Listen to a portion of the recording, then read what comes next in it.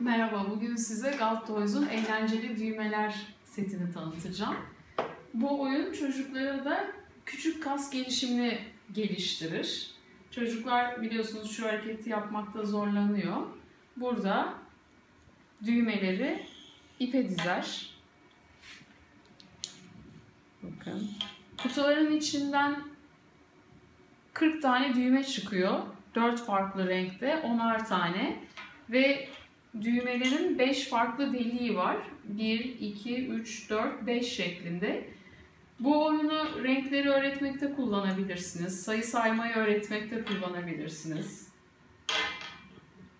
Ee, önce çeşitli mesela diz diyebilirsiniz. Sonra renklere ayırarak dizmesini isteyebilirsiniz.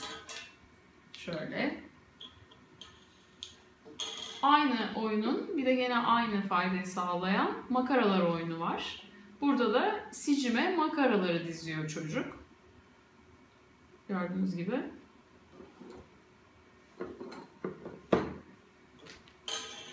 Hem eğleniyorlar hem de fiziksel gelişmelerini ve zihinsel gelişmelerini sağlıyorlar bu oyunla.